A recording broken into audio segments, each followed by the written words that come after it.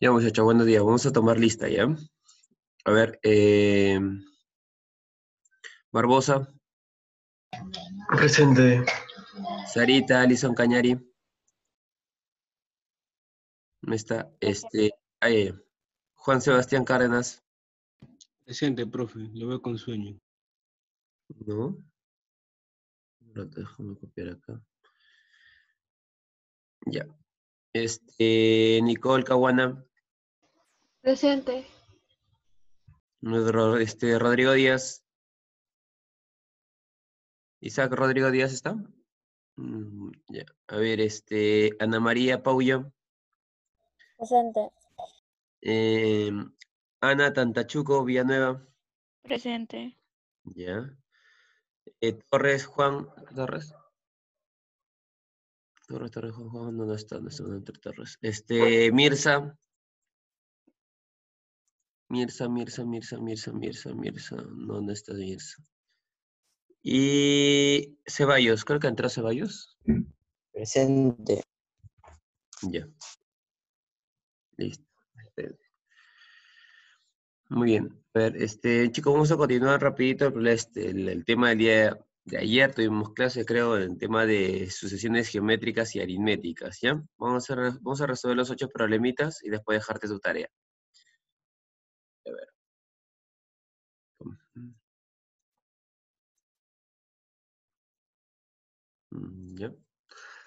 A ver.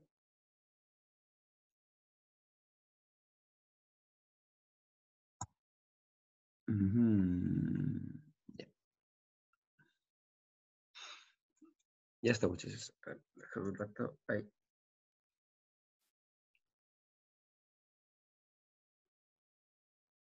Ya. Listo.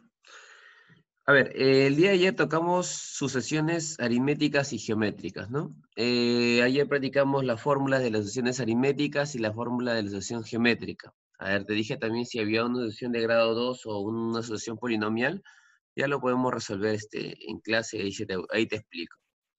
Empezamos, número uno dice, calcula el término enésimo de la siguiente sucesión. Para calcular el término enésimo, cuando te dicen el término enésimo, están pidiendo el término de la posición n, o sea, tn nada más. No, no te están diciendo un valor ya haya el término 20, el término 15, el término 50, no, solo tn. Hay que aplicar la fórmula y eso es todo. Pero hay que darnos cuenta qué tipo de sucesión es, aritmética o geométrica. Para eso me fijo en la razón. Profesor, acá es más 4, acá es más 4 y acá es más 4. Si es que tienes una razón continua o aditiva, automáticamente es una sucesión aritmética y lo reconoces, ¿no? Sucesión aritmética. Si es una sucesión aritmética, tú ya sabes su fórmula. Eso es algo que tú tienes que ya haberlo aprendido el día de ayer. ¿Qué te dice? El término enésimo, ahí está justo lo que quiero, mira, término enésimo es igual al primer término, lo voy a copiar nuevamente para que te lo puedas aprender o porque puedas recordar, más menos n menos 1 multiplicado por la razón. Ya está. Ahora sí. Desarrolle, profe, este problema. Allá. Como me piden término enésimo, me piden el término de posición n, o sea, tn. No cambien nada. El primer término es 7. Está subiendo la razón, más. Profesor, no tengo n, ni tengo el último término, ni, ni sé cuántos términos hay. Pongo n, n menos 1 y multiplicado por la razón que vale 4, ¿no? Ya está. El término enésimo, es lo que yo quiero, es igual a 7 más este 4 multiplica en propiedad distributiva, ¿no? El de acá con el de acá y el de acá con el de acá. Sería 4n menos 4. Por lo tanto, el término enésimo es igual, muchachos, 7 menos 4, 3, más 4n. Listo y acabó el problema. Tú dirás, profe, ¿pero qué es esto? Claro, porque me piden el término enésimo. O sea, la función, la regla de correspondencia en el término enésimo es 3 más 4n. Y eso es todo. Ahí acabó. ¿Ok? Si te hubiera pedido el término 50, allá t50 y n hubiera valido 50. Si te hubiera dicho el t20, t20 y n hubiera valido 20. Pero como te dicen término enésimo, lo dejas en el término enésimo, enésimo en función de n. Eso es todo. Seguimos. El de acá. ¿Qué número continúa? No te dicen cuándo es el número, o sea, te dicen qué número continúa después del 11. Y este problema es bien sencillo. No, no, no le veo sentido a la número 2 en los problemas de expresiones geométricas y aritméticas. Pero bueno, más 3. Más 3. Muy fácil este problema. Más 3. Y el número que continúa es más 3, que es 14, ¿no? El número que continúa es 14 y eso es todo, porque dice el número que continúa. Claro que se presenta como una sucesión aritmética, pero te pide ya el número que continúa, que es 14. Pero, ¿y por qué no aplicó esta fórmula? Porque no necesito aplicar esta fórmula para saber qué número le continúa el 11. Más que nada, estas fórmulas son para números muy, muy, muy, muy separados. Por ejemplo, término 20, término 15, término, no sé, 60, término 100. Pero el número que continúa es 14 y acabó el problema. Seguimos. ¿Dónde está? Allá. A ver acá.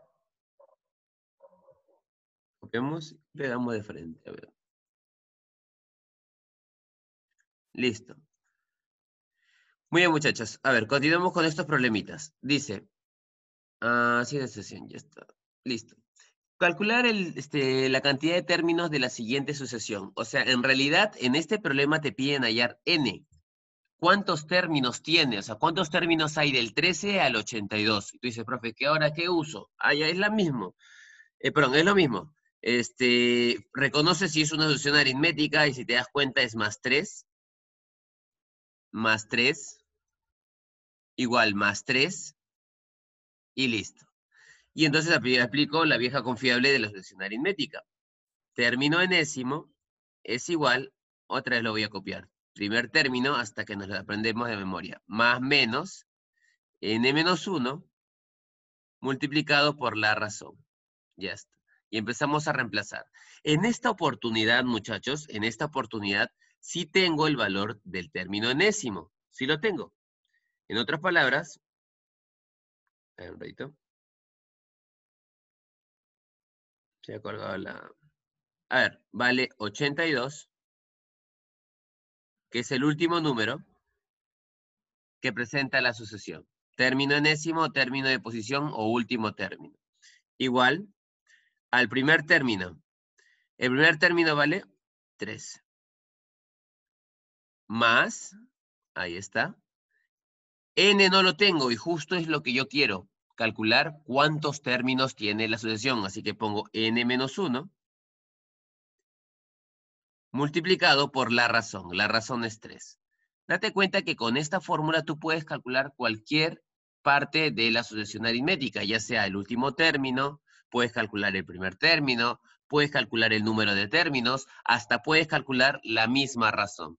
Aunque casi nunca se calcula la razón porque la razón es rápida, ¿no? De, hallar, se observa rápidamente cuál es la razón.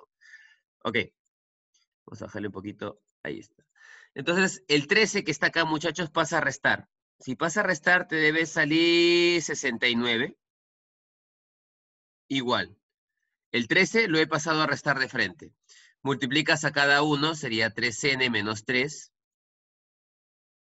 3n menos 3. El 3 vuelve a sumar acá, 72 es igual a 3n. Y n te va a salir, muchachos, 24. Quiere decir, ¿qué quiere decir esto? Que hay 24 números en esta sucesión aritmética. 24 números en esta sucesión aritmética. Y él es el término 24.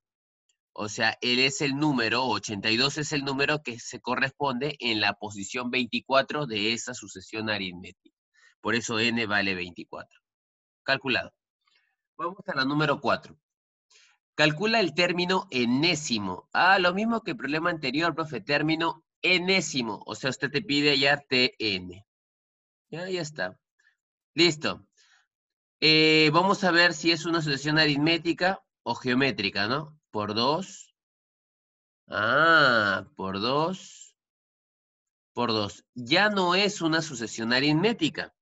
Como la constante o la razón es multiplicativa, es una multiplicación, por ende esto es una sucesión geométrica. Ya está.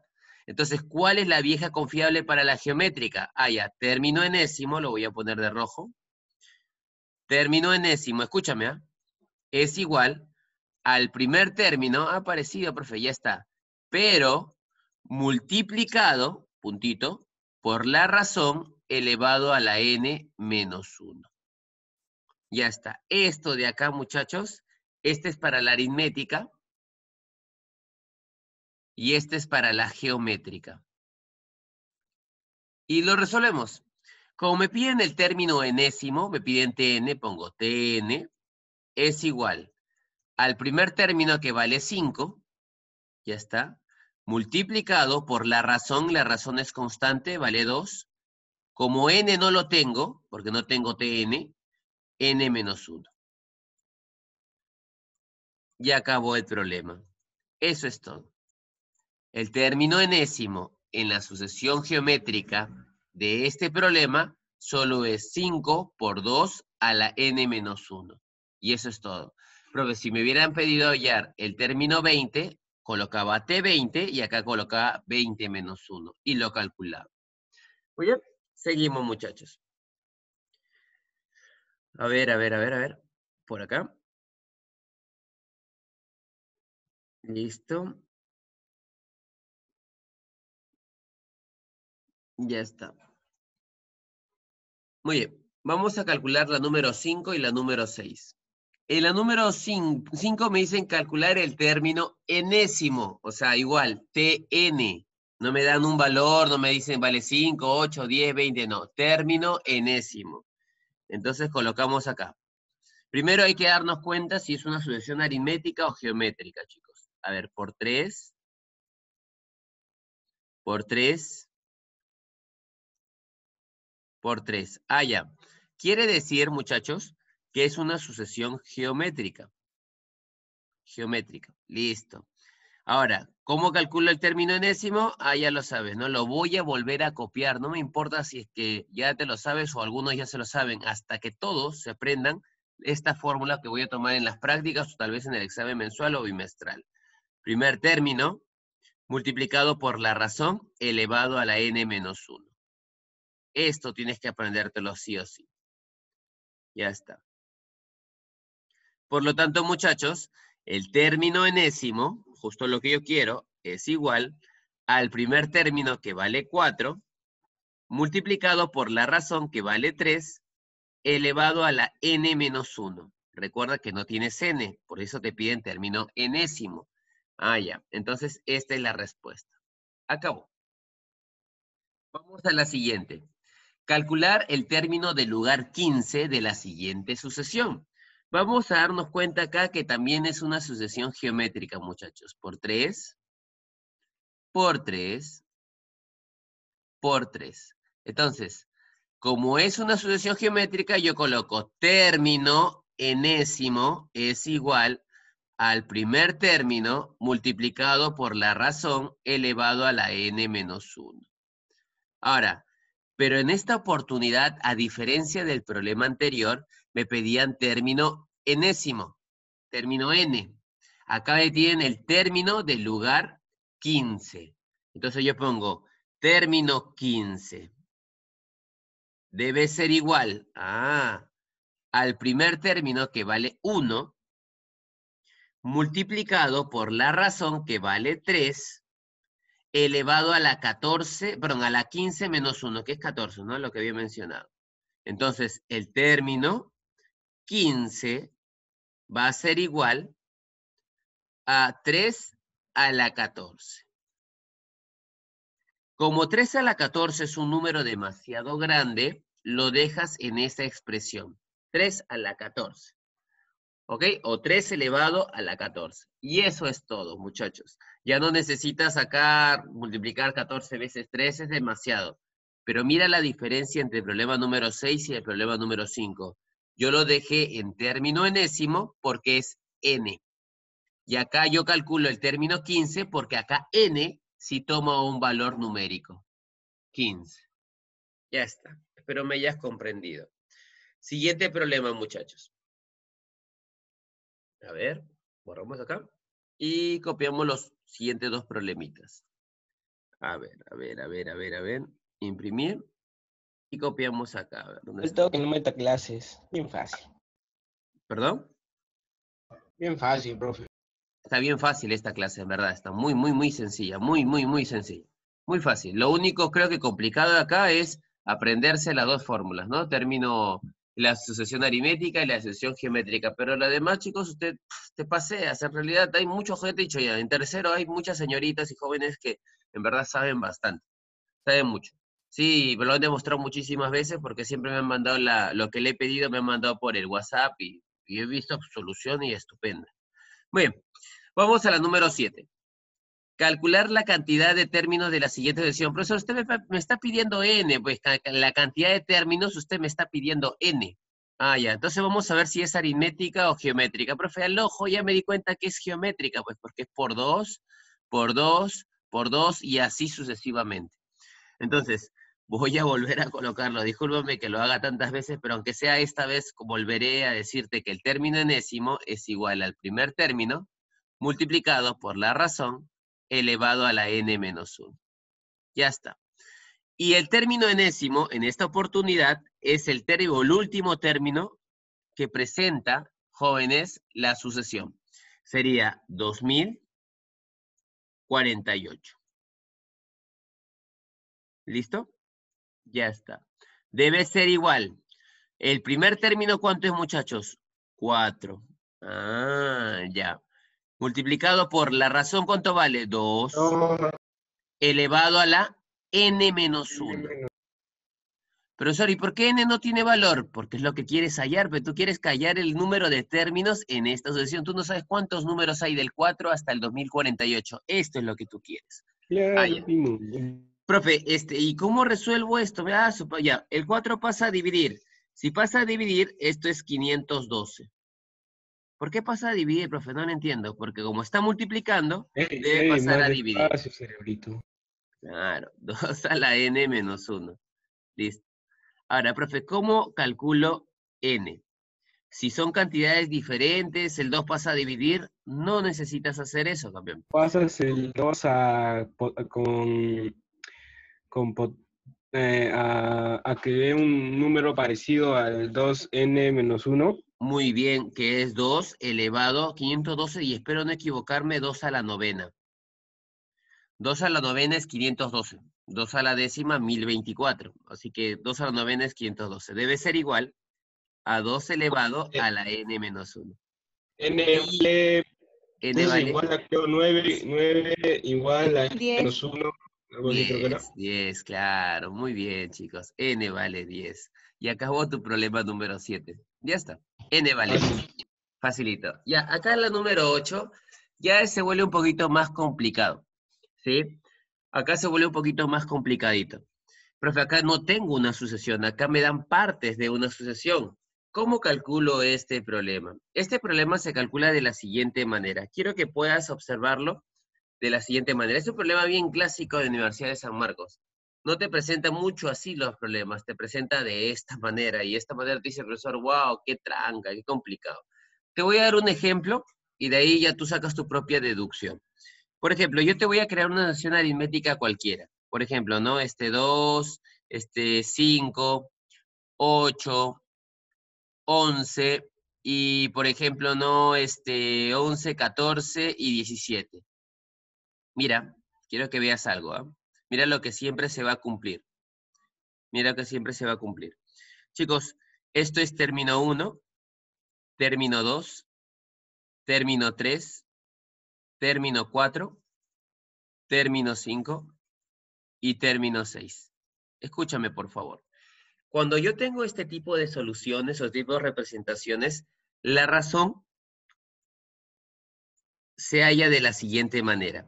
Tú puedes elegir cualquier término y vas a poder siempre encontrar la razón.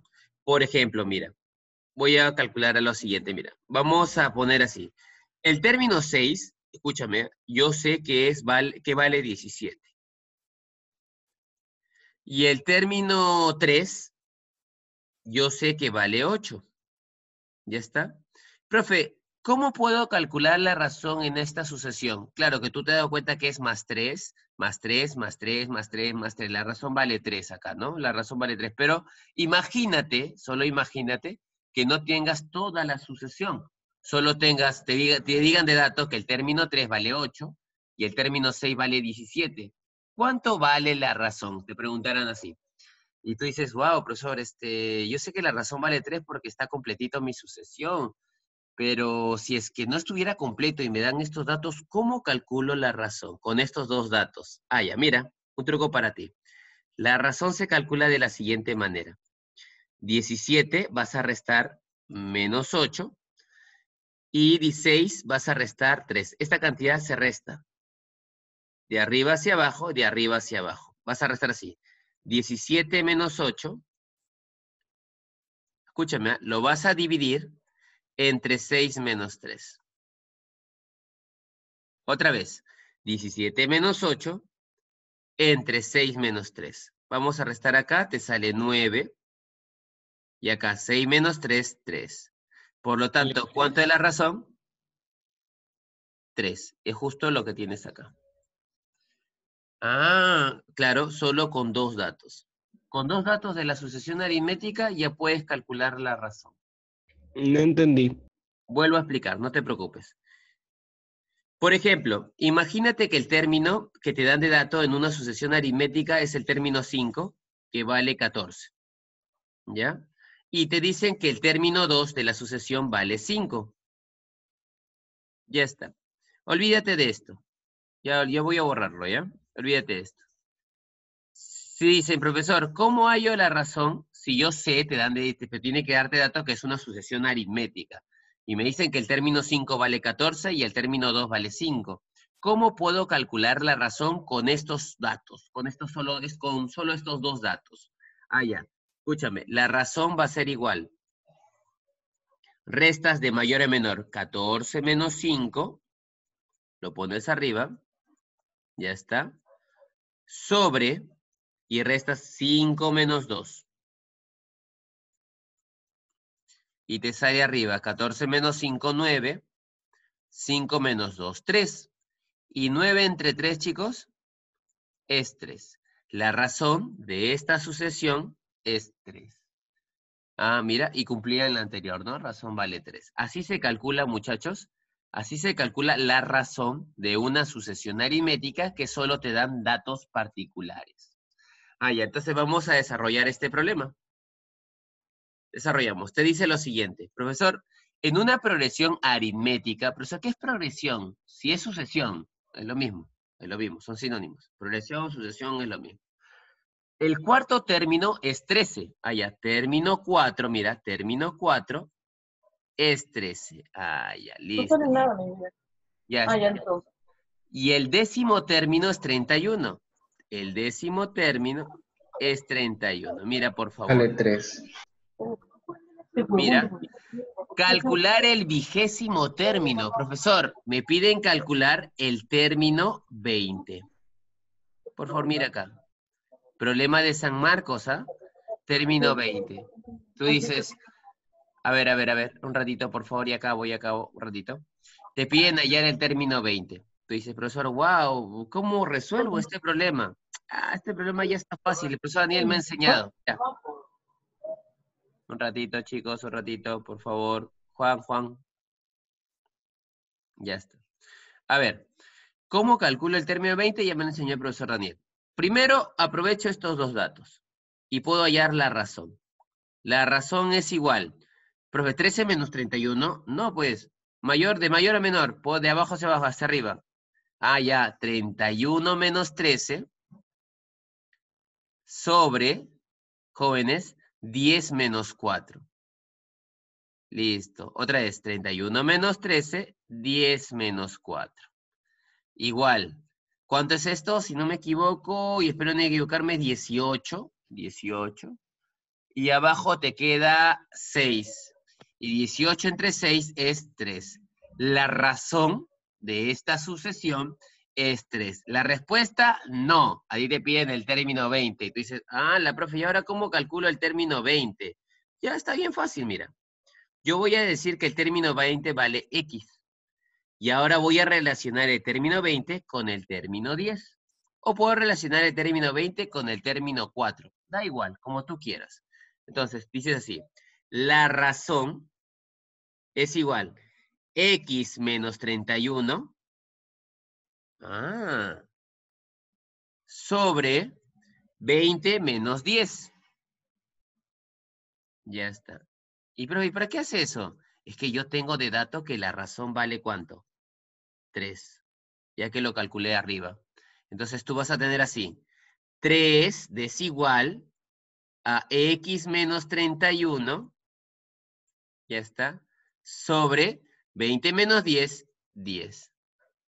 El 10 pasa a multiplicar 30. El menos 31 pasa a sumar a 30, 61. X vale 61. Ah, conoce mi técnica, profe. Ya está. X vale 61. Quiere decir que el término de la posición 20 es 61. Este problema es clásico sanmarquino sí o sí, porque este sí te viene varias veces. No te viene así. Así es muy fácil para San Marcos. Te lo pone de esta manera. Profe, pero solo se cumple cuando es una sucesión aritmética, sí. Solo cuando es una sucesión aritmética se calcula de esta manera la razón. ¿Listo? Muy bien, muchachos, ya no te quito más tiempo. Ya toma tu desayuno, relájate y espera la próxima clase. Te voy a dejar este, la tareita, te lo subo a la plataforma ahorita estación y si tienes alguna duda, puedes revisar el video, porque más o menos va por ahí, muchachos. Cuídense, nos vemos la próxima clase. Ya todos están asistentes, ya tienes toda su asistencia. Quien no haya puesto la asistencia me dice, por favor. Mire, ya tan, A ver, creo que acá. Mirza es la única que me falta poner la asistencia. ¿Dónde está Mirza? No ha entrado Mirza. Por problemas seguro este, particulares. Ya me contará, ya me dirá la próxima semana. Muy bien, muchachos. Cuídense, un abrazote bien grande y tengan bonito fin de semana. Pásenlo en familia todos. Cuídense, muchachos. Ya, chao, profe. Que no le